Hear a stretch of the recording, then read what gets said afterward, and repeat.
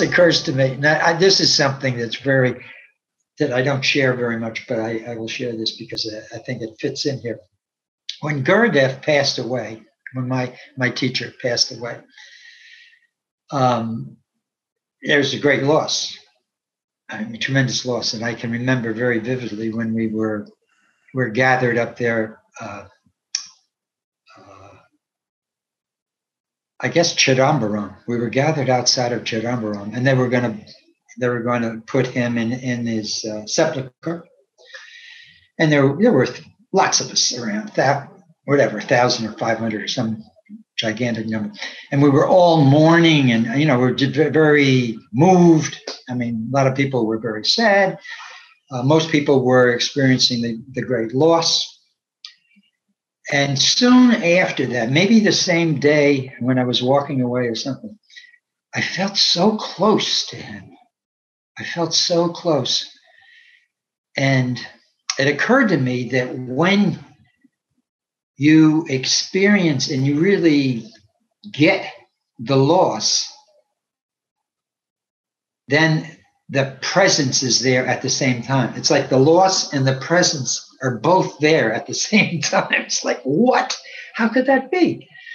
And then it, I really got how Swami Satchidananda was always telling us that he was going to be more present when he left the body.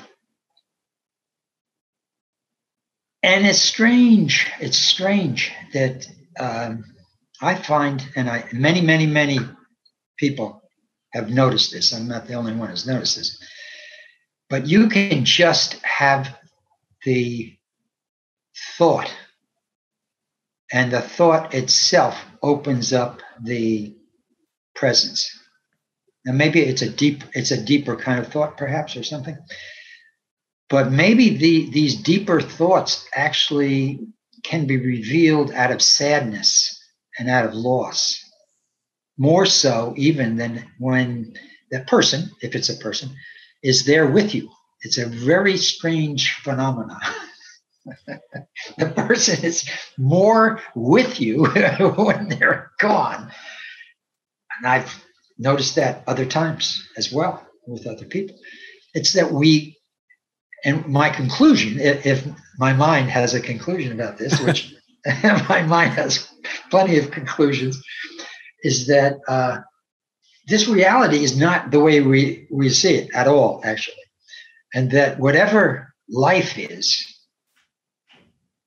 it's not bound up in uh, skin and bones. This life is a is an energy, whatever that is, and it's it's floating around all the time, and it's really everywhere. Um, this is a new idea for my mind that uh, I find very uh, engaging, very very engaging. Uh, it's part of joy i think actually. This is this is a part of what joy is realizing that you know it's not things don't just like end and go away. Thanks for listening. If you've enjoyed this content and think others might as well please feel free to share and subscribe